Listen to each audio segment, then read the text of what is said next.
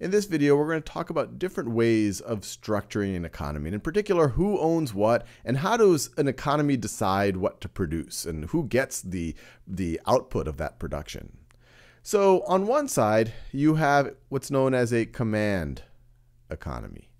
And good examples of command economies are the communist states, especially during the 20th century, the USSR, the Soviet Union being the, the best example of that. And in a command economy, the government controls what's often known as the factors of production. And sometimes, in an extreme case, there might not even be private ownership. So let's say that this right over here is the government. I'll do this with some type of a building with pillars in it. So this is the government.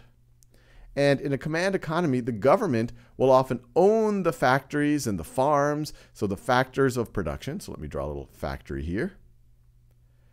So with a little smokestack. And so the government will tell this factory, you this year you have to produce exactly 10,000 cars.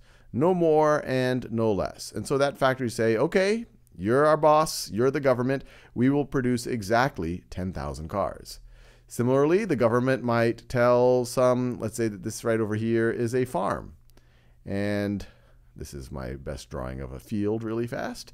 And so it needs to say, hey, you need to produce I don't know, 10 million apples. I don't even know if that's a reasonable amount of apples to produce, but you need to produce 10 million apples. And so the farmers who essentially work for the government, because the government would own that farm, they would produce those apples. And also in a command economy, there's like, well, who gets these cars and who gets these apples?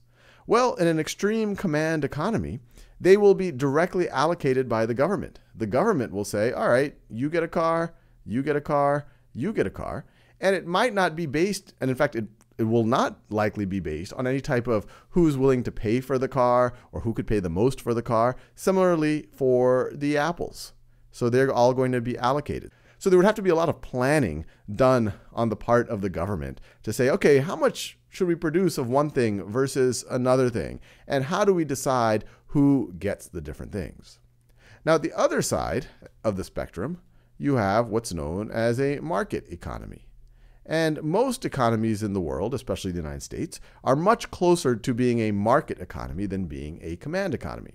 Rather than having uh, the government owning the factors of production and deciding who produces what and how much and who gets those things, in a market economy, it's all based on the factory right over here, independent of the government for the most part, unless you're in certain fact fields that might have strong influence from the government. Let's say you're a military contractor. But if you're not in one of those fields, if you're fairly independent of the government, what they would say is, well, what does the market need? They might say, hey, look, the market needs 5,000 cars that look like this, but then it also needs another 2,000 trucks that look like that.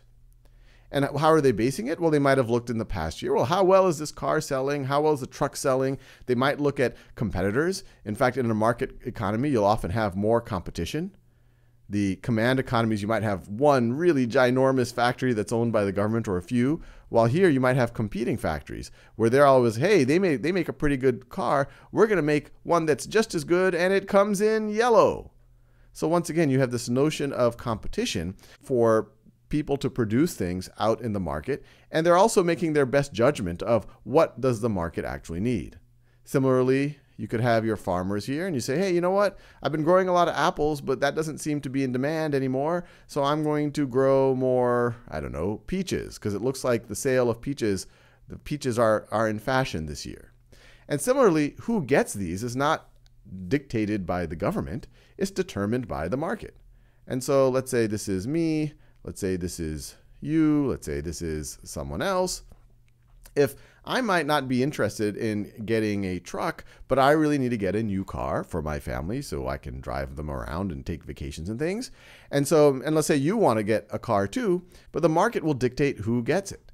So, for example, the factory might set a price for this car. They might say it is $10,000 per car.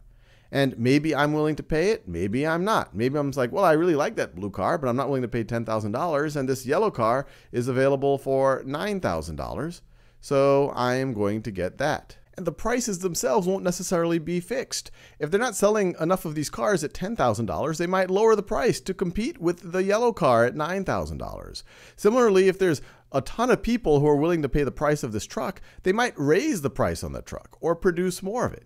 And the severe competition, if one firm doesn't do this well on a regular basis, they might go out of business. So there's a strong motivation to be able to meet the needs of the market, and then the prices adjust accordingly. And so you might say, well, what are the, the, the, positives and negatives that people generally associate with command economies or market economies? Well, the motivation that's often given for a command economy is some notion of fairness or some notion of equality that when you have an, a market economy, as a byproduct of this mechanism where different people are competing, some people are innovating more or less, some people might be working harder or less, some people might just get luckier or unluckier, you naturally will have some level of inequality. And some of the original ideas behind command economies like communism where, hey, we don't like this inequality. We want to see more fairness. And so we want to see everyone get exactly the same car. We want to see everyone get exactly the same number of apples.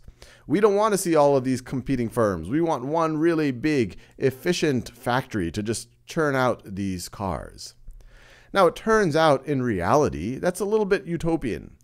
Even at the peak of some of these communist economies, there were people who had better access to certain things people who might have carried favor with the leadership, had more power, who had, had better apartments, had better cars, had more access to resources than people who didn't. In a market economy, yes, there will be some inequality, but the best thing going for it, and the reason why most economies in the world, even ones that are nominally communist, like the Chinese economy, have tr- transitioned to a market economy, because a market economy is also associated with things like innovation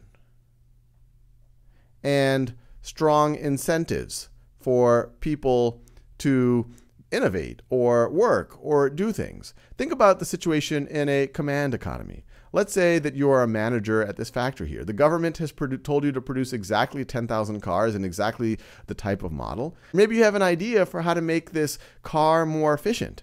But no one's really going to reward you for that. If you're not going to be able to get paid more so that you can buy more things, you might not be as interested in doing it. While in this situation, you have extreme competition, where as soon as this factory or this company is outselling this one, everyone here is going to think, wow, we need to innovate. We need to really work harder so that we can take more market share from the other company. Similarly, at the individual level, different people might say, hey, I can only afford the yellow car now, but I, gee, I really wish I had the blue car. So maybe I'm going to work a little bit harder, or I'm going to try to innovate, or I'm going to try to start a business. Most of the world has transitioned to something much closer to a market economy because overall, even though you have this inequality, it has made more productivity, more innovation, more goods and services available to more people. Now, the reality is, is most economies, as I mentioned, they're close to a market economy, but they aren't a perfect market economy. You still have the government very involved in certain industries. In many economies, the government might be in control of healthcare. The government in almost every country has significant influence in things like the military. The government in, say, the United States, which is considered a fairly capitalist, a fairly strong market economy, the government still does offer social safety nets when the inequality gets too extreme. If someone isn't able to feed themselves, they might get food stamps. If someone isn't able to get health care because of poverty, they might get Medicaid. And so there's actually a spectrum between a command economy and a market economy with most economies actually falling in this in between state, which is sometimes referred to as a mixed economy. For example, as already mentioned, the United States, which is considered a very capitalist country with a market economy, it still does have some public ownership. The government still does control certain aspects of the economy. It still represents a fairly large chunk of the economy. And so, a pure command economy, government would control everything. Pure market economy, you would have very little that's controlled by the government. But the reality in most of the world, things fall in this mixed economy spectrum.